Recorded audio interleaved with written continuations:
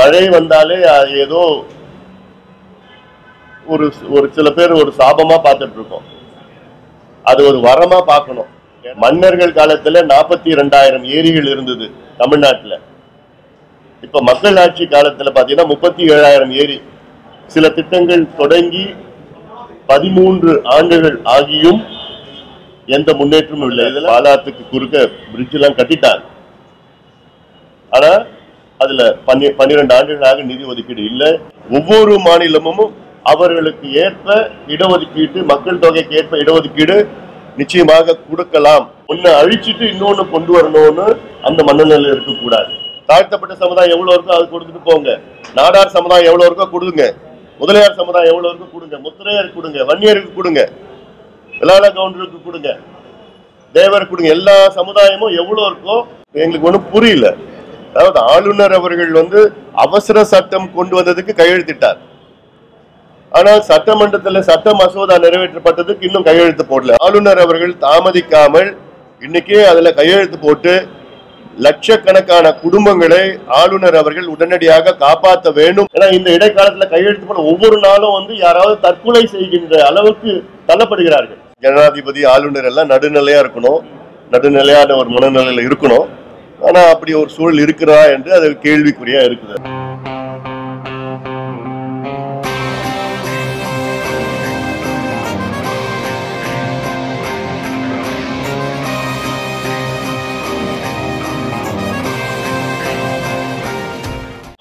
அனைத்து ஊடக நண்பர்களுக்கு வணக்கம்.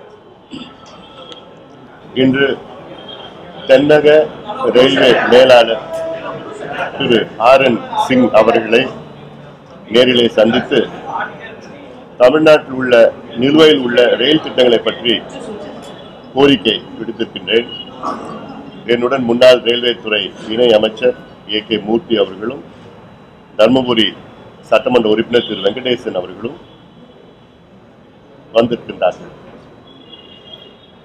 அதில் தமிழ்நாட்டை சார்ந்த முக்கியமான நிலுவையில் உள்ள திட்டங்கள் குறிப்பாக தர்மபுரி மொரப்பூர் ரயில்வே திட்டம்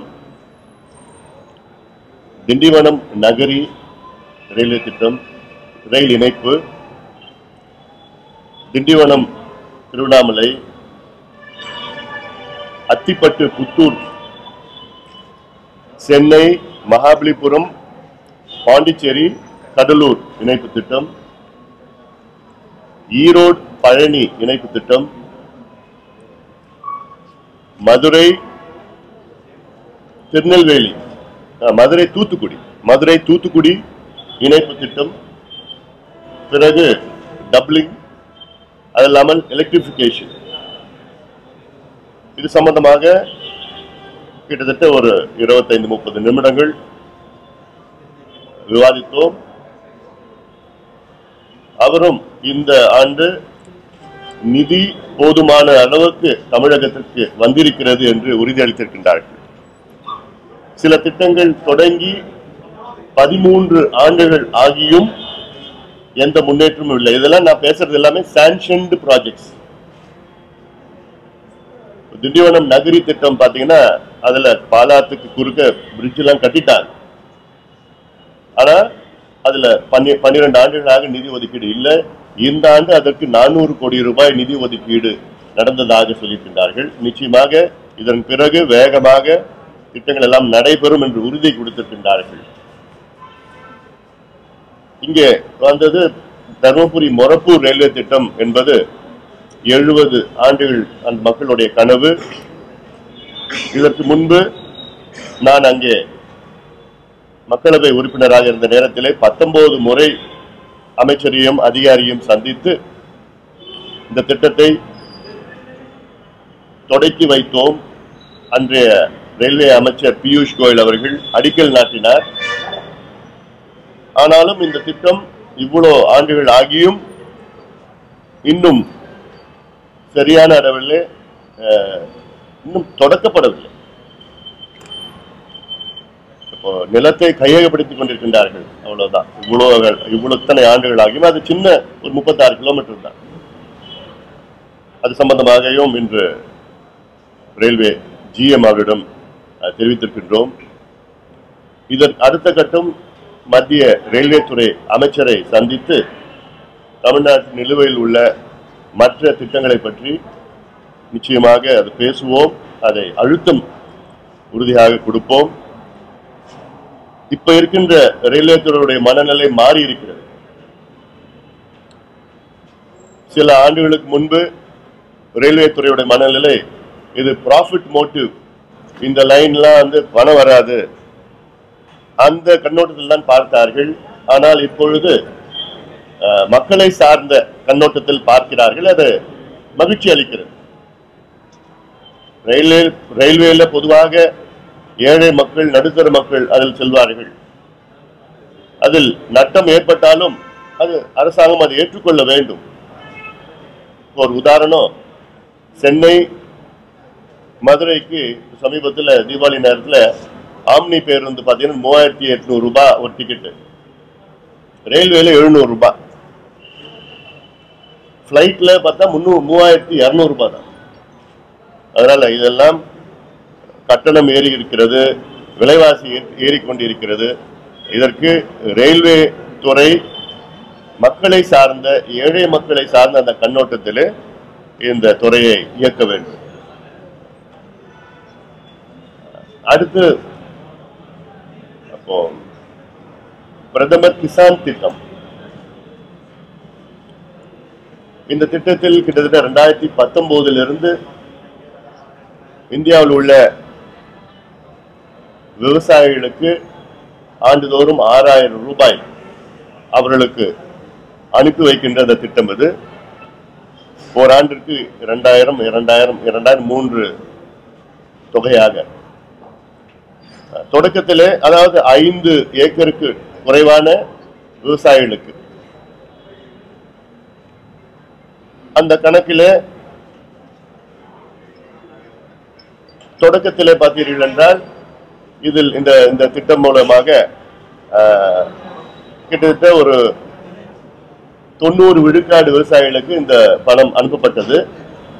ஆனால் கடந்த ஆண்டு அதுக்கு முந்தைய ஆண்டு அது கிட்டத்தட்ட ஒரு ஐம்பது விழுக்காடாக குறைக்கப்பட்டது. இன்று அது முப்பது விழுக்காடாக குறைக்கப்பட்டிருக்கிறது அதாவது பதினோரு கோடியே நாற்பது லட்சம் விவசாயிகள் இன்று கிட்டத்தட்ட மூணு கோடியே எண்பது லட்சம் விவசாயிகள் தான் இந்த பணம் செல்கிறது. பதினோரு கோடியே எண்பது லட்சம் விவசாயிகளுக்கு இருந்து இன்னைக்கு மூணு கோடியே எண்பது லட்சம் விவசாயிகளுக்கு தான் செல்கிறது. அது என்ன காரணம் என்று இன்னும் சொல்லவில்லை. நிச்சயமாக அதை அதிகப்படுத்த வேண்டும். அதுவும் தமிழ்நாட்டில் பார்த்தீங்கன்னா அஹ், கிட்டத்தட்ட அது மொத்தம் விவசாயிகள் எழுபத்தி ஒன்பது லட்சம் பேர்.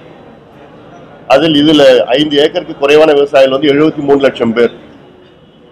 அவங்களுக்கு தொடக்கத்தில் வந்தது பார்த்தீங்கன்னா கிட்டத்தட்ட ஒரு நாற்பத்தி ஒன்பது லட்சம் பேர். இப்போ பார்த்தீங்கன்னா இருபத்தி மூணு லட்சம் பேர் தான் வருது தமிழ்நாட்டில். அதனால் அதை சரி செய்ய வேண்டும். இப்பொழுது வடகிழக்கு பரு- பருவ மழை உச்சத்தில் இருக்கிறது. நான் பல முறை சொல்லியிருக்கின்றேன். இங்கே தமிழ்நாட்டில் குறிப்பாக சென்னை மாநகரத்தில் பணிகளை வேகப்படுத்த வேண்டும் என்று ஆறு ஏழு மாதங்களாக தொடர்ந்து சொல்லி வந்தோம். ஆனாலும் இன்னும் இன்னும் பணிகள் முடிக்கப்படவில்லை. ஆங்காங்கே தண்ணீர் தேங்கி நிற்கிறது. அது மட்டுமல்ல ஏதோ மழை வந்தாலே ஏதோ ஒரு ஒரு சில பேர் ஒரு சாபமா பார்த்துட்டு இருக்கோம் அது ஒரு வரமா பார்க்கணும். ஏன்னா காலநிலை மாற்றம் தாக்கத்தில் அடுத்த பத்து பதினைந்து ஆண்டுகளில் மழை குறைந்து விடும். இதுதான் நிபுணர்கள் சொல்கிறார்கள். அதனால் இருக்கின்ற மழையை நாம் சேமிக்க வேண்டும். அதற்கு சென்னையை சார்ந்த பகுதிகளுக்கு பத்து புதிய ஏரிகளை தமிழக அரசு கட்ட வேண்டும் உருவாக்க வேண்டும். அதாவது மன்னர்கள் காலத்துல நாற்பத்தி இரண்டாயிரம் ஏரிகள் இருந்தது தமிழ்நாட்டுல. இப்ப மக்கள் ஆட்சி காலத்துல பாத்தீங்கன்னா முப்பத்தி ஏழாயிரம் ஏரி குறைந்திருக்கிறது. இப்ப நம்ம ஏரிகளை உருவாக்குகின்ற ஒரு நோக்கத்தில் அதாவது சென்னையில இடம் இல்ல. சென்னை பக்கத்துல மகாபலிபுரம் செங்கல்பட்டு மதுராந்தகம் இந்த பக்கம் ஸ்ரீபெரும்புதூர் மீஞ்சூர் காஞ்சிபுரம். அந்த பகுதியில் ஒரு ஒவ்வொரு ஏரியும் வந்து ஒரு டிஎம்சி கொள்ளளவு கொண்ட ஏரியா இருக்கும். இங்க இப்ப வ- பெய்த மழை மழை காலத்துல இந்த வெள்ளம் எல்லாமே வாய்க்கால் மூலமா பைப்பு மூலமாக அந்த ஏரிகளுக்கு விட்டு செல்ல வேண்டும் அனுப்பி வைத்து அதை ஆண்டு முழுவதும் பயன்படுத்திக் கொள்ளலாம். ஏன்னா கிளைமேட் அடாப்டேஷன் அண்ட் மிட்டிகேஷன் சொல்வார்கள். இப்பொழுது அங்க ஈஜிப்ட்ல நடக்கிற மாநாடு முடிஞ்சிருக்கு இப்போ.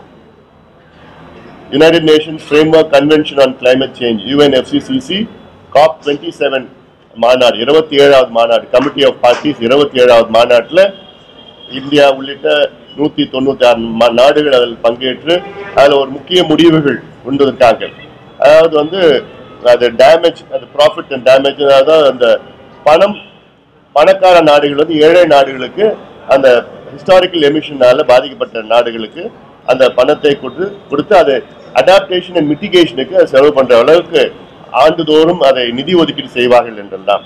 அதனால இந்த இது தமிழக அரசு அதை அந்த கண்ணோட்டத்தில் நம்முடைய நீர்நிலைகளை பாதுகாக்கணும் விரிவாக்கம் செய்யணும். வரும் காலம் பிரச்சனைகள் பல இருக்கிறது. அதற்கேற்ப நிதி ஒதுக்கீடு செய்து இருக்கிற ஏரி குளங்கள்ல மட்டும் அல்ல ஆறுகளே தடுப்பணைகளை கட்டணும்.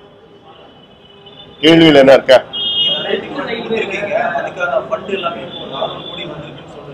அது ஒரு ஸ்கீமுக்கு. ஒரு ஸ்கீமுக்கு.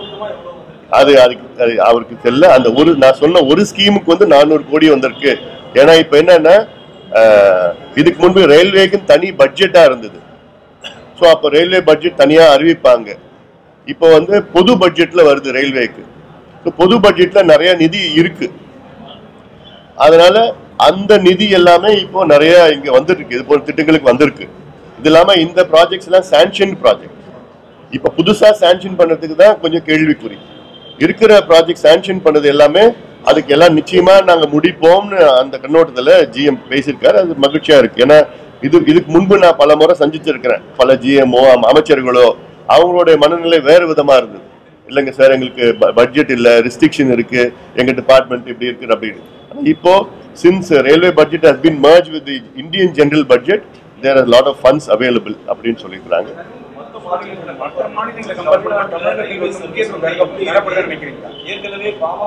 பு- புதி புதிய திட்டங்களுக்கு முக்கியத்துவம் தரல. இப்ப இருக்கிற அதுக்கு இப்போ எங்க ரயில்வே அமைச்சர்கள் ஏ கே மூர்த்தி அரங்க வேலு தமிழ்நாட்டினுள்ள முன்னாள் ரயில்வே இணை அமைச்சர்களாக பணியாற்றிய நேரத்தில் எத்தனையோ புது திட்டங்கள் கொண்டு வந்தாங்க. அந்த திட்டங்கள்லாம் இப்போ இன்னும் நிலுவையில் இருக்கு. அதன் பிறகு யார் எந்த புது திட்டமும் கொண்டு வரல. நான் வந்து ஒன்னே ஒன்று மொரப்பூர் தருமபுரி திட்டம் வந்து ரெண்டாயிரத்தி பதினெட்டுல சண்டை போட்டு பத்தொன்பது முறை அமைச்சர்களும் அதிகாரிகளையும் சண்டை சந்தித்து சண்டை போட்டு தான் கொண்டு வந்த முடிஞ்சு. அதாவது only new railway scheme for Tamil Nadu இந்த லாஸ்ட் ஸோ மெனி இயர்ஸ் அதுக்கும் அதுக்கும் இப்போ கொஞ்சம் போயிட்டு இருக்கு அந்த அலைன்மெண்ட் சரியில்லாதனால இருக்கு. நிச்சயமா தரணும். புதிய திட்டங்கள் எல்லாம் இன்னும் தரணும். முக்கியத்துவம் தரணும் அதுக்கு. ஏன்னா டப்ளிங்க்கு இன்னும் நிறைய நிதி ஒதுக்கீடு செய்யணும். எலக்ட்ரிஃபிகேஷனுக்கு நிறையா செய்யணும். நிதி ஒதுக்கீடு செய்யணும் அதில்.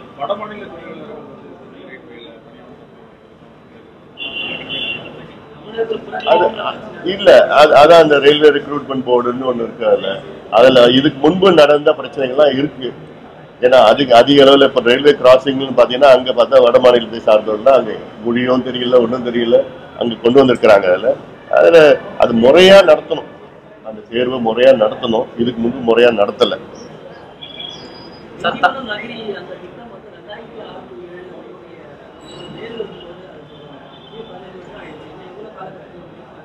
அதுக்கு தான் இப்போ இப்போ சொல்லியிருக்கிறாங்க நானூறு கோடியை ஒதுக்கீடு நடந்திருக்குன்னு சொல்லியிருக்கிறாங்க. ஏன்னா அதுல சில இடத்துல ரயில் கம்ப்ளீட் லைனை கம்ப்ளீட் பண்ணியிருக்கிறாங்க. பாலாத்து குறுக்க பிரிட்ஜை கட்டியிருக்கிறாங்க அதுல. அதான் இப்போ இப்போ சொன்ன செய்தி வந்து அது பரவாயில்ல. ஒரு நானூறு கோடி ஒதுக்கி இருக்கிறாங்க. இதே போன்ற எல்லா திட்டத்துக்கும் நிச்சயமாக நாங்கள் நிறைவேற்றுவோம். அதாவது அப்ரூவ்டு லைன்ஸ் எல்லாம் நிறைவேற்றுவோம் என்று சொல்லியிருக்கிறாங்க. சார் தனி தமிழ்நாடு வெட்டி எடுக்கிறது தான் தமிழ் தேசனுடைய இறுதி இலக்குன்னு திருமாவளவன் சொல்லியிருக்காரு. அதை நீங்க எப்படி பாக்குறீங்க? தனி அது- தமிழ் தேசத்தை நீங்க ஏற்கிறீங்களா எதிர்க்கிறீங்களா? அதை பத்தி எனக்கு கருத்துக்கள் எதுவும் இல்லை இன்னும் அரௌண்ட் சென்னையில் வந்து பத்து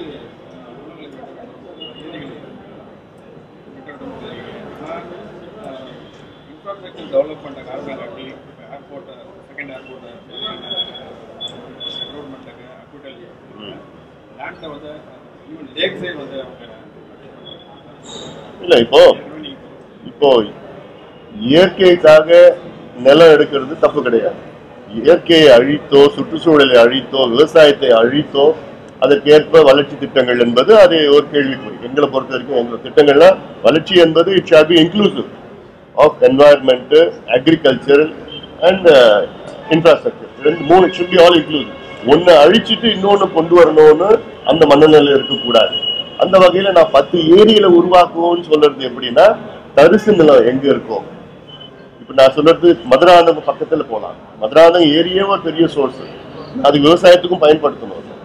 மதுராந்தகம் ஏரி வந்து இட் வாஸ் லிட்டரலி ஒரு ஆயிரத்தி எட்நூறு ஏக்கர்.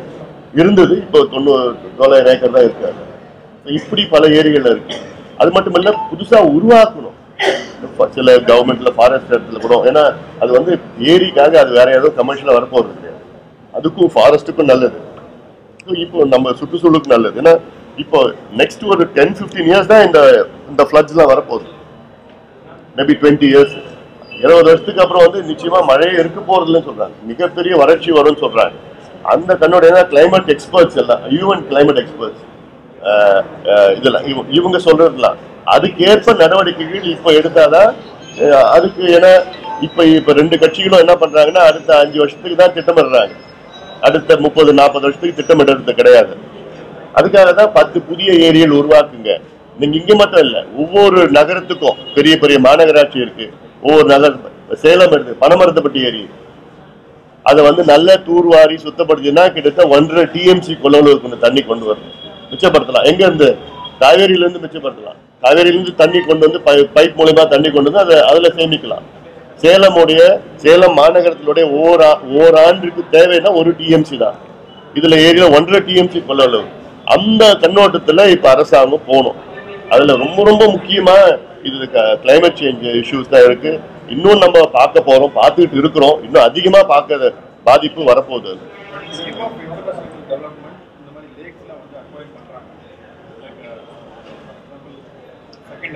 ஆமா இதுல. இப்ப நான் பரந்தூர் செகண்ட் இரண்டாவது விமான நிலையம். தமிழ்நாட்டுக்கு வந்து ஒரு கிரீன்ஃபீல்ட் ஏர்போர்ட் செகண்ட் சென்னைக்கு. சென்னைக்கு வந்து ஒரு கிரீன்ஃபீல்ட் ஏர்போர்ட் ஒரு செகண்ட் ஏர்போர்ட் வந்து அவசியமானது. இது சம்பந்தமாக நாங்களே வந்து ஆறு முறை அறிக்கை விட்டுட்டு இருக்கோம் இந்த லாஸ்ட் டென் இயர்ஸில் வேண்டும் அவசியமானது. ஏன்னா இப்போ இருக்கிற ஏர்போர்ட்டோடைய பீக் கெப்பாசிட்டி வந்து டுவெண்ட்டி டுவெண்ட்டி செவனில் வந்துடும் டுவெண்ட்டி ஃபைவ்லேயோ டுவெண்ட்டி செவன்லேயோ வந்துடும் அதுக்கப்புறம் போதுமானது இல்லை. கெப்பா ஏர்போர்ட் கெப்பாசிட்டி மட்டும் ரன்வே கெப்பாசிட்டின்னு சொல்கிறேன் நான் ஏன்னா அப்போ அதுக்குள்ளே அது வந்து அது பண்ணணும். ஏன்னா இதில் ஆறு இடம் ஷார்ட் லிஸ்ட் பண்ணியிருக்காங்க தமிழ்நாடு கவர்மெண்ட் ஆறு இடத்துல அப்புறம் நாலு ஷார்ட் லிஸ்ட் பண்ணாங்க அதுல ரெண்டு பண்ணாங்க. இப்போ ஒன்று வந்து பரந்தூர் சொல்றாங்க. இப்போ ஒரு எக்ஸாம்பிள் திருப்போரூர் பக்கத்துல வந்து தரிசு நிலம் நிறைய இருக்கு. சால்ட் பிளான்ஸ் நிறைய இருக்குது அங்க. அங்கே ஐயாயிரம் ஏக்கருக்கு மேல இருக்கு. அது அந்த அங்கே அங்க ஏர்போர்ட் வந்துச்சுன்னா அங்கேயும் நம்ம இருக்கிற இப்ப இருக்கிற ஏர்போர்ட்டுக்கு சின்ன சின்ன டிஸ்டன்ஸ் தான் இருக்கு. That is a good actually proposal நல்ல ப்ரொபோசல் ஆனா அங்க அதுக்கு பிறகு வந்து கல்பாக்கம் இருக்குன்னு ஒரு காரணம் சொல்றாங்க. ஹேபிடேஷன்ஸ் கூட அது தள்ளி தான் இருக்கு அதுக்கு பிறகு ஒன்றும் கிடையாது இல்ல இப்ப இப்போ இங்க இருக்கிற ஹேபிடேஷன் தான் இருக்கு. அதான் இருக்கிற ஏர்போர்ட் பக்கத்துல ஹேபிடேஷன் தான் இருக்கு. So we have to some point of time coexist ஆகுது ஏன்னா தரிசு நிலம். யாருக்கும் பாதிப்பு இருக்காது. விவசாயத்துக்கும் பிரச்சனை இல்லை. பக்கிங்ஹாம் கேனல் பக்கத்துல இருக்கும். ஸோ அதெல்லாம் இருக்கு. நிறைய இடம் இருக்கு அங்கே. பட் அதுல பேசி தமிழ்நாடு அரசு வந்து மத்திய அரசுல பேசி பேசி வேற மாதிரி கொஞ்சம் போய் ட்ராக் இதெல்லாம் பண்ணி பண்ணலாம். பரந்தூர்ல கிட்டத்தட்ட ஐந்து பெரிய ஏரிகள். அது இல்லாம வந்து எட்டு அதுக்கப்புறம் அடுத்து அடுத்த பக்கம் ஏரி. ஏன்னாங்க காவேரிப்பாக்கம் ஏரியில இருந்து காவேரிப்பாக்கம் ஏரி தண்ணி வர்றது வந்து பாலாத்துல இருக்கிற வடகால்வாயிலேருந்து தண்ணி காவேரிப்பாக்கம் போகுது. அங்க இருந்து ஏரி வந்து ஒவ்வொரு இந்த ஏரி ஏரியா வந்து செம்பரம்பாக்கம் வரைக்கும் வருது. So, பாலாத்து தண்ணி செம்பரம்பாக்கத்துக்கு வருது. அது- அந்த ப்ரொபோசல் அதெல்லாம். இதெல்லாம் நிச்சயமா அது பாதுகாக்கணும். எங்க எங்களுடைய எழுவர் குழு ஏழு பேர் குழு வந்து அமைச்சிருக்கிறோம். அவங்க அங்க அந்த பகுதியில போய் பார்த்துருக்குறாங்க பேசியிருக்கிறாங்க. அவங்களும் சில செய்தி சொல்லியிருக்கிறாங்க. அரசாங்கத்துக்கிட்ட தமிழக அரசிட்ட பேசணும். அழைச்சா நாங்கள் நிச்சயமா நாங்கள் பேசி அங்க இருக்கிற கருத்துக்கள் இந்த மக்களுடைய கருத்துக்கள்லாம் சொல்லி அஹ், எந்த இது பாதிக்கப்படாம வளர்ச்சி வேணும்.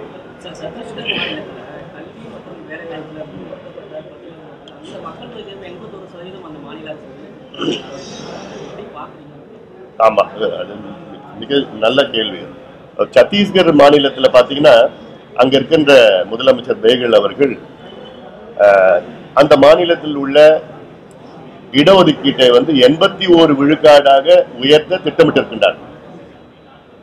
அதுல குறிப்பாக பழங்குடி இன மக்களுக்கு கூடுதலாக இருபதுல இருந்து முப்பத்தி ரெண்டு விழுக்காடு அதன் பிறகு படிப்படியா மற்றவர்களுக்கு எல்லாம் சேர்த்து வந்து எண்பத்தோரு விழுக்காடு. இதை முழுமையாக பாட்டாளி மக்கள் கட்சி வரவேற்கிறது. சமீபத்துல வந்து பார்த்தீங்கன்னா உச்சநீதிமன்றம் ஐம்பது விழுக்காடு அந்த அளவை வந்து அதற்கு மேலே செல்லலாம். தவறு இல்லை என்று அரசியல் சாசன அமர்வு வந்து தெளிவுபடுத்தியிருக்கிறது.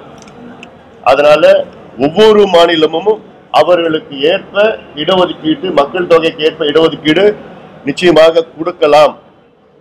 இது மத்திய அரசை வலியுறுத்தணும். மத்திய அரசு நாடாளுமன்றத்திலே சட்டத்தை கொண்டு வரணும். அரசியல் சாசன சட்டம் கான்ஸ்டிடியூஷனல் அமெண்ட்மெண்ட் ஒன்று கொண்டு சட்ட திருத்தம். கொண்டு வந்து ஐம்பது விழுக்காடு அந்த அளவுக்கு உள்ள இப்பயும் எந்த ரெஸ்ட்ரிக்ஷன்ஸும் இல்லை அதுல. ஏன்னால் அப்படி ஒரு கான்ஸ்டிடியூஷனல் அமெண்ட்மெண்ட் மத்திய அரசு கொண்டு வந்தாதான் அதற்கு பலமா இருக்கும். ஏன்னா இப்பயும் there are no restrictions there are no legal restriction legal இந்த சென்ஸ் சட்டம் கிடையாது அதுல. ஐம்பது பர்சன்ட் அறுபது பர்சன்ட்லாம் இல்லை. சுப்ரீம் கோர்ட் சொன்னதை வச்சுதான் இவ்வளவு நாளா ஒரு ரெஸ்ட்ரிக்ஷன்ஸ் இருந்தது. இப்ப சுப்ரீம் கோர்ட்டே வந்து ஐம்பதுக்கு மேல கொடுக்கலாம்னு சொல்லிட்டாங்க. அதனால தமிழ்நாட்டில் தமிழ்நாட்டுல 69 தான் இருக்கு. இன்னும் சொல்ல போனா தமிழ்நாட்டுல வந்து கிட்டத்தட்ட தொண்ணூறு விழுக்காடு இடஒதுக்கீடு வேணும். பாட்டாளி மக்கள் கட்சியினுடைய கொள்கை முடிவு எப்படின்னா விகிதாச்சாரி அடிப்படையில எல்லா சமுதாயத்திற்கும் இடஒதுக்கீடு கொடுக்கணும். அதாவது hundred percent reservation in Tamil Nadu hundred பர்சன்ட்னா எப்படின்னா நூறு சீட் இருக்குன்னா அதுல எந்தெந்த சமுதாயம் இருக்கோ எல்லாத்துக்கும் கொடுத்துட்டு போங்க. பிராமணர்களுக்கு கொடுங்க. ரெட்டியாருக்கு கொடுங்க. நாயுடு சமுதாயத்தை கொடுங்க. தாழ்த்தப்பட்ட சமுதாயம் எவ்வளவு இருக்கோ அது கொடுத்துட்டு போங்க. நாடார் சமுதாயம் எவ்வளவு இருக்கோ கொடுங்க. முதலியார் சமுதாயம் எவ்வளவு இருக்கு கொடுங்க. முத்திரையருக்கு கொடுங்க. வன்னியருக்கு கொடுங்க. விளாட கவுண்டருக்கு கொடுங்க. தேவர் கொடுங்க. எல்லா சமுதாயமும் எவ்வளவு இருக்கோ எண்ணிக்கையின் அடிப்படையில். எண்ணிக்கையின் அடிப்படையில் அவ்வளவு கொடுத்துட்டு போயிடுங்க. அப்போ எந்த பிரச்சனையும் யாருக்கும் இருக்க போறது கிடையாது. அதுல வந்து அந்த இடபிள்யூஎஸ்ஓ அந்த கிரீமி லேயரோ எந்த இதுவும் வர போறது கிடையாது. இதுதான் தந்தை பெரியார் அவர்கள் சொன்னது. அந்த அடிப்படையில கொடுத்துட்டா உங்களுக்கு எந்த பிரச்சனையும் போராட்டமும் எதுவும் வரப்போறது கிடையாது. சார் ஆன்லைன் சூதாட்டம் அவசர சட்டம் கொண்டு வந்தாங்க. அது இன்னும் கிடப்புல கிடக்குது. ஆளுநர் வந்து இதுல அரசியல் செய்தான்னு சொல்லி கீ சொல்லியிருக்காரு. நீங்க எப்படி அதான் இப்போ எங்களுக்கு ஒண்ணும் புரியல. அதாவது ஆளுநர் அவர்கள் வந்து அவசர சட்டம் கொண்டு வந்ததுக்கு கையெழுத்திட்டார். ஆனால் சட்டமன்றத்துல சட்ட மசோதா நிறைவேற்றப்பட்டதுக்கு இன்னும் கையெழுத்து போடல ஆன்லைன் சூதாட்டம் சூதாட்டம் சம்பந்தமா. ஏன்னு எனக்கு ஒன்றும் புரியல. அவசியம் பண்ணணும் செய்யணும் என ஆஹ், இந்த ஓராண்டுல பார்த்தா இருபத்தெட்டு பேர் நான் நினைச்சேன் முப்பத்தி ரெண்டு பேர் தற்கொலை பண்ணியிருக்கிறாங்க. ஆன்லைன் சூதாட்டம். அதுல விளையாடி நட்டத்துல. ஆயிரக்கணக்கான குடும்பங்கள் பாதிக்கப்பட்டிருக்கு. ஒவ்வொரு நாளும் பாதிக்கப்பட்டிருக்கு. இப்போ அந்த அவசர சட்டம் வந்த பிறகு பாத்தீங்கன்னா இடையில இது விளம்பரமும் வரல. ஆன்லைன் சூதாட்ட விளம்பரம் வரல. இப்போ திடீர்னு இப்போ உயர்நீதிமன்றத்தில் வழக்கு வந்த பிறகு அப்ப தமிழ்நாடு அரசு சொல்லிச்சு நாங்க இன்னும் அது நடைமுறையில கொண்டு வரல. அது என்ன காரணம்? எனக்கு புரியல. ஒரு ஆர்டினன்ஸ் வந்து ஒரு ஆறு மாதம் ஆர்டினன்ஸ் உடைய தன்மை இருக்கு. ஆனா இன்னும் ஆறு மாசம் முடியல. அதுக்குள்ள வந்து சட்டமன்றத்துல சட்டமாக்கி அது வந்து மசோதா வந்து சட்டமா ஆக்கணும் கையெழு ஆளுநர் கையெழுத்து போட தான் சட்டமாக்கும். ஆனா ஆர்டினன்ஸ் இன்னும் இருக்கு. ஆனா எந்த அடிப்படையில வந்து உய- உயர்நீதிமன்றத்துல கபில் சிபல் கபில் சிபல் தான் தமிழ்நாடு கவர்மெண்டோட கவுன்சில் அவர் சொல்லியிருக்கிறார் இன்னும் நடைமுறையில வரலன்னா எனக்கு புரியல. அதன் பிறகுதான் இப்ப பாத்தீங்கன்னா மறுபடியும் விளம்பரம் வந்துட்டு இருக்கு அதிக அளவில். இதுக்கு முன்னாடி விளம்பரம் வந்தா கூட அது உள்ள போனா ஒண்ணும் வராது. ஆனா இப்போ அது உள்ள எட்டாயிரத்தி ஐநூறு ரூபாய் நாங்க ஃப்ரீயா கொடுக்குறோம் முதல்ல. அப்படிலாம் நிறைய பேர் இப்ப மறுபடியும் விளையாட ஆரம்பிச்சிருக்காங்க. அதனால ஆளுநர் அவர்கள் தாமதிக்காமல் இன்னைக்கே அதுல கையெழுத்து போட்டு லட்சக்கணக்கான குடும்பங்களை ஆளுநர் அவர்கள் உடனடியாக காப்பாற்ற வேண்டும் என பாட்டாளி மக்கள் கட்சி கேட்டுக்கொள்கிறது.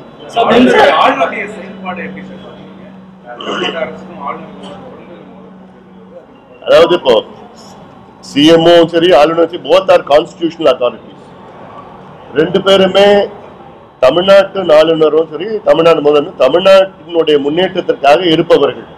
தமிழ்நாட்டு மக்களுடைய நலன் சார்ந்த இந்த ரெண்டு பேருமே இருக்கிற அத்தாரிட்டிஸ் அந்த கண்ணோட்டத்துல ரெண்டு பேருமே அவர்களுக்கு அவர்களுக்குள்ள ஈகோ இல்லாம செயல்பட வேண்டும். ஏன்னா இது வந்து இது அரசியல் கிடையாது. இது தமிழ்நாட்டு மக்கள். அதே நேரத்தில் வந்து மக்களால் தேர்வு செய்யப்பட்ட ஒரு அரசு. அதற்கு ஆளுநர் அவர்கள் மதிப்பளிக்க வேண்டும்.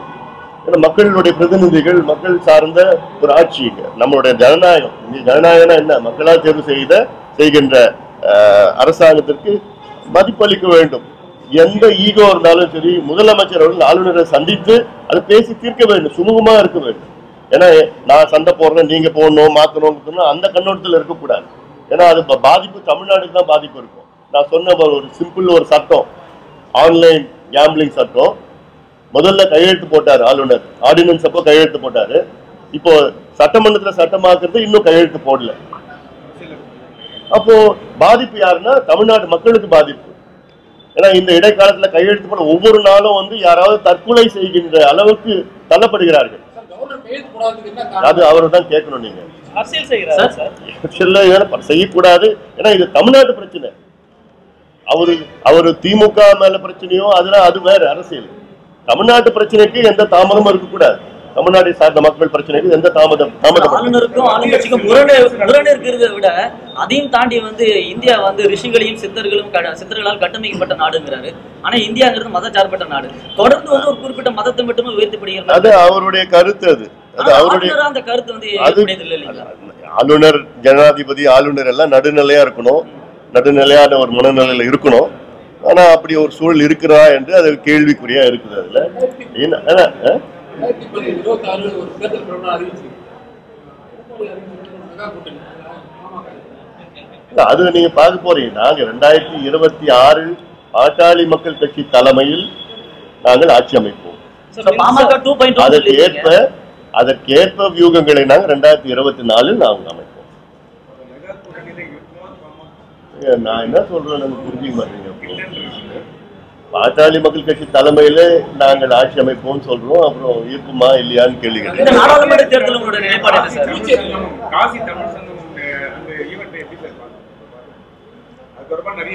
இது இது அமைதியா நல்லபடியா நடத்தியிருந்தாங்கன்னா நல்லா இருக்கும். நிறைய விளம்பரப்படுத்தி அது கொஞ்சம் விளம்பரம் கம்மி பண்ணி சார் இப்ப இடஒதுக்கீடு பேசும்போது பெரியார் பத்தி பேசுனீங்க. ஆனா பிஜேபி சொல்றது என்னன்னா தமிழ்நாட்டுக்கும் காசிக்கும் ஒரு தொடர்பு இருக்குது வரலாற்று தொடர்பு இருக்குன்றாங்க. நீங்க இப்ப இடஒதுக்கீடு சொல்லும்போது பெரியார கோட் பண்ணி சொன்னீங்க. இப்போ பெரியார் வந்து காசிக்கு போனதுக்கு அப்புறமா தான் வந்து ஈவேரா வந்து பெரியாரா மாறினாரு. சோ உங்களுடைய கருத்து இப்போ? தமிழ்நாட்டுல ஆஃப் லைட் என்னன்னா பல கேள்விகள் பல கட்சிகள் கேட்கிறது. ஒரு கட்சி வந்து நீ தமிழனான்னு கேக்குது நீ தமிழா? இல்ல தமிழனான்னு கேக்குது ஒரு. இன்னொரு கட்சி நீ ஹிந்துவான்னு கேட்குது இன்னொரு கட்சி நீ முஸ்லிமா கேக்குது. இன்னொன்னு நீ திராவிடனான்னு இது இப்ப இப்ப இருக்கிற சூழ்நிலை இந்த மாதிரி கேள்விகள்லாம் தேவையில்லை இந்த மாதிரி கேள்வி கேட்காது. விவசாய விவசாயிகளுக்கு விவசாயிகளுக்கு நீ உங்களுடைய அஹ், விளைபொருள் வந்து கிடைச்சிருக்குதா? இல்ல உங்க- உங்க நெல் மூட்டைக்கு வந்து விலை கிடைச்சிருக்குதான்னு கேளுங்க. இளைஞர்களுக்கு உங்களுக்கு வேலை வாய்ப்பு கிடைச்சிருக்கா? வேலை கொடுக்குறாங்களா? இருக்கா? அந்த கேள்வி கேளுங்க. இல்ல நல்ல உங்க உங்க பள்ளிக்கூடத்துல நல்ல ஆசிரியர்கள் வராங்களான்னு கேளுங்க. இந்த இந்த சார்ந்த கேள்விகள் கேளுங்க. ஏன் பிரிவினையை உருவாக்குறீங்க? அது தேவையில்லை. தேவையில்லா சொல்லுங்க. மக்களை இணையுங்கள். உங்களை அரசியலுக்காக பிரிக்காதீங்க. வளர்ச்சி என்பது அதை நல்ல கல்வியை கொடுக்கணும். நல்ல சுகாதாரம் விவசாயிகள் மகிழ்ச்சியா இருக்கணும். சுற்றுச்சூழலுக்கு முக்கியத்துவம் கொடுங்க. வளர்ச்சி திட்டங்களுக்கு கொடுங்க. அப்படி அந்த கண்ணோட நீர் மேலாண்மை இப்ப சொல்றோம் பாருங்க எவ்வளவு பிரச்சனை. இப்ப இப்ப இருக்கிற இப்ப இருக்கிற பிரச்சனை தமிழ்நாட்டின் பிரச்சனை இந்தியா பிரச்சனை உலகத்தின் பிரச்சனை வந்து கிளைமேட் சேஞ்ச் அதை பத்தி யாராவது பேசுறீங்களா? யாராவது ஒரு விவாதம் நடக்குதா? எங்கேயாவது நடக்குதா? ஆனா இல்லையே. ஆனா இதுதான் பிரச்சனையே இன்னைக்கு. இன்னைக்கு மட்டும் இல்ல. அடுத்த தலைமுறை அடுத்த தலைமுறை அடுத்த அடுத்த நாலஞ்சு தலைமுறைக்கு பிரச்சனை இதுதான். இதுல என்ன பியூட்டினா இந்த தலைமுறை நம்ம தலைமுறை தான் இதற்கு தீர்வு கொண்டு வர முடியும். அடுத்த தலைமுறைக்கு இந்த தீர்வு கொண்டு வந்து விட்டுட்டோம்னா டைம் வில் டூ லேட் அதை பத்தி யாருமே பேச மாட்டீங்க கோவில். மின்சார கட்டண உயர்வு வந்து தடை தடை விதிக்க முடியாத தீர்ப்பு சொல்லிருக்கு. எப்படி பாக்குறீங்க ஆமா பால் பால் உயர்வு பால் உயர்வு. பாத்தீங்கன்னா எங்களுடைய கோ- கோரிக்கை வந்து பாத்தீங்கன்னா கொள்முதல் அதிகப்படுத்தணும்னு சொன்ன ஆவின் கொள்முதல். அது கொஞ்சம் இன்க்ரீஸ் பண்ணிக்கிறாங்க. பன்னெண்டு ரூபாய் இன்க்ரீஸ் பண்ணிக்கிறாங்க. ஆனா அதே வேளையில பாத்தீங்கன்னா தனியார் நிறுவனங்கள் வந்து பாத்தீங்கன்னா எழுபத்தி எட்டு ரூபாய் எண்பத்தி மூணு ரூபாய் அது உயர் அந்த அதை கொழுப்புள்ள பால் எல்லாம் பண்ணியிருக்கிறாங்க. அது குறைக்கணும். நிச்சயமா அது குறைக்கணும். அது மிகப்பெரிய ஒரு பாதிப்பு இருக்கிறதுல அது அதாவது தனியார் நிறுவனங்கள் ஒரு மாஃபியா மாதிரி அவங்களுக்குள்ள நடத்திட்டு இருக்காங்க அந்த மாஃபியாவை உடைக்கணும். அதுக்கு அளவுகோலே வந்து ஆவின். ஆவின் பால் விட நீங்க ஒரு அஞ்சு ரூபாய் அதிகமா வித்துட்டு போங்க. அது தப்பு கிடையாது. ஆனா நீங்க ஆவின் பாலோட நீங்க நாற்பது ரூபாய் அதிகமா விற்கிறது என்ன நியாயம் இருக்கு? அது மக்கள் பாதிக்கப்படுவாங்க. அதே வேலையில விவசாயிகளுக்கு நீங்க விலை கொடுக்க மாட்டீங்க. அது எவ்வளவு போராட்டம் பண்ணி பண்ணி தான் இப்பதான் ஒரு மூன்று ரூபாய் ஏற்றிருக்கிறாங்க அப்படி ஏழு ரூபாய் ஏத்திருக்கிறாங்க இல்ல அது போதுமானது இல்ல கொள்முதல் அதிகப்படுத்துங்க நீங்க விவசாயிகள்.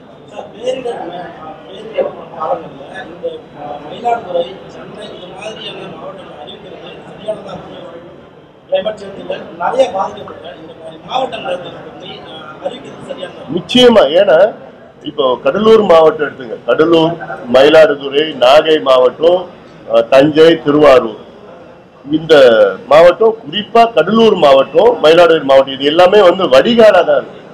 எங்க மழை பெஞ்சாலும் தண்ணி அங்கதான் போகுது. அப்படி அது லோ லைங் ஏரியா அதுக்கு வந்து எப்- எப்பவுமே அது வடகிழக்குவா தென்மேற்கு பருவமா எந்த புயல் வந்தாலும் எங்க வந்தாலும் அங்க தண்ணி இங்க இருக்கும் பெங்களூர்ல மழை பெஞ்சுன்னா வெள்ளம் கடலூர்ல வரும். ஊட்டியில மழை பெஞ்சாலும் இங்கதான் தண்ணி கடலூர்ல வரும். தருமபுரி எங்க பெஞ்சாலும் அதுக்கு அதுக்கு ஏற்ப நடவடிக்கைகள் எடுக்கணும். இதெல்லாம் இப்ப எல்லாம் சேட்டலைட் மேப்பிங் ஜிஐஎஸ் மேப்பிங் எல்லாம் இருக்கு. அதை பயன்படுத்தணும்.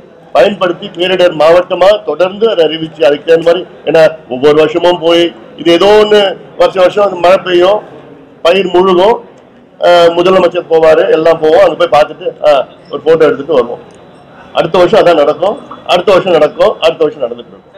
அதை அதற்கு என்ன தீர்வுன்னு சயின்டிபிக்கா அசஸ் பண்ணி அதை கொண்டு போய் டைவர்ட் பண்ணி முன்னெச்சரிக்கை நடவடிக்கைகள்லாம் எடுத்து அது வரத்துக்கு முன்பு கொஞ்சம் தூர் வாரது இந்த கனெக்ஷன் பண்றது தடுப்பணை கட்டுறது எல்லாமே அது மாத்தி மாத்தி பண்ணணும் அது. அது அப்படி அது ஒரு அது- அது ஆமா அது ஒரு சடங்கா தான் பண்றாங்க தவிர அது வந்து ஒரு நூறுபூர்வம் பண்றது கிடையாது அதே நேரத்துல இங்க இங்க சென்னையில உள்ள மழைநீர் வடிகால். இதை வந்து அதிகமா அதாவது வருஷம் வருஷம் கட்டிட்டு இருக்காங்க வடிகால். இப்போ என்னன்னா சென்னைக்கு வந்து சேட்டலைட் மேப்பிங் பண்ணி கரெக்டான எங்க எந்த தெருவுல எவ்வளவு மழை பெய்யும் எவ்வளவு தண்ணி நிற்குது எல்லாமே வச்சிருக்கோம். டீட்டெயில்ஸ் இருக்கு. இது இப்ப மட்டும் இல்லை இருபது வருஷமா வச்சிருக்காங்க டீட்டெயில்ஸ் இன்னைக்கு லேட்டர் இருக்கு. இதுக்கேற்ப இப்போ இந்த ரெயின் வாட்டர் போறது இல்ல மழைநீர் வடிகால் போறது இல்ல அதை வந்து ப்ரீகாஸ்ட் ப்ரீகாஸ்ட் அந்த வடிகாலா வந்து கட்டி அதை வந்து அங்க வந்து அங்க செயல்படுத்தணும். ஏன்னா அப்ப போய் பள்ளம் தோண்டி அப்புறம் அங்க கான்கிரீட் போய் கம்பி நட்டு அதுக்குள்ளே சேறு வந்துடுச்சு அதுலயும் மிக்ஸ் ஆகுது சூவஜ்ல மிக்ஸ் ஆகுது எல்லாம் இருக்கு. ப்ரீகாஸ்ட் வந்து இந்த தெருவுக்கு இவ்வளவு தேவைப்படும். ரெண்டு அடி அகலம் மூணு அடி ஹைட்டு இல்ல வந்து மூணு அடி இது மூணு. இல்ல நாலு அடிக்கு இந்த மூணுன்னு சொல்லிட்டு அதுக்கு ஏற்ப ஸ்டடிஸ் இருக்கு. அந்த தெருவுல ப்ரீகாஸ்டா கட்டி டக்கு டக்குன்னு கிட்டத்தட்ட இருபது நாள்ல முடிச்சிடலாம் வேலையை முடிக்கலாம். இதுல அதிக கவனம் செலுத்தணும் அரசு. ஏன்னா டீநகர் பகுதி என் என் வீடு டிநகர்ல இருக்கு. அங்க ரெண்டு வருஷத்துக்கு முன்பு வந்து மழைநீர் வடிகால் கட்டினாங்க. இப்போ மொத்தமா இடிச்சிட்டு இருக்காங்க. இடிச்சிட்டு புதுசா கட்டுறாங்க. ரெண்டு வருஷம் தான் கட்டியாரு சிலது இணைப்பு இல்லை. சில சேரு மாதிரி மாட்டிக்கிச்சு. சிலது பத்தல. சும்மா பேருக்கு ஏதோ கட்டணும் கட்டிட்டு போயிட்டாங்க. அப்புறம் ஸ்மார்ட் சிட்டின்னு சொல்லி என்ன பிரயோஜனம் இல்லை அது அது வந்து விவசாயிகளுக்கு கருணை உள்ளம் கொண்டு அரசு வந்து செயல்படணும். ஏன்னா இதுக்கு முன்பு பார்த்தீங்கன்னா அங்கே போனப்போ ஒரு பத்து நாளுக்கு முன்னாடி அந்த பக்கம் போனேன் மயிலாடுதுறைக்கு போயிருந்தேன் நான். அப்ப பார்த்தா இழப்பீடு வந்து சில சில விவசாய இழப்பீடு ஒரு ரூபாய் கொடுத்துருக்கோம் மூன்று ரூபாய் அஞ்சு ரூபாய் பத்து ரூபான்னு கொடுத்துருக்குறாங்க. அது விவசாய நிலையில வந்து அவமதிக்கின்ற செயலா பாக்குறது ஒரு ரூபாய் என்ன கொடுக்குறீங்க இழப்பீடு? அது வந்து அது தப்பான ஒரு கருணை உள்ளத்தோட நிச்சயமா அரசு வந்து அதை பார்த்து ஏன்னா மிகப்பெரிய நட்டம் விவசாயிகளுக்கு நட்டம் நட்டம் விலையும் இல்லை. எம்எஸ்பி பாத்தீங்கன்னா ரெண்டாயிரத்தி நூத்தி அறுபது ரூபாய் ஆனா உற்பத்தி மூவாயிரம் ரூபாய் ஆகுது. சார் தென் பாம்பு கலாச்சாரம். மங்களூர் பாம்பு. முடிச்சிடலாம்.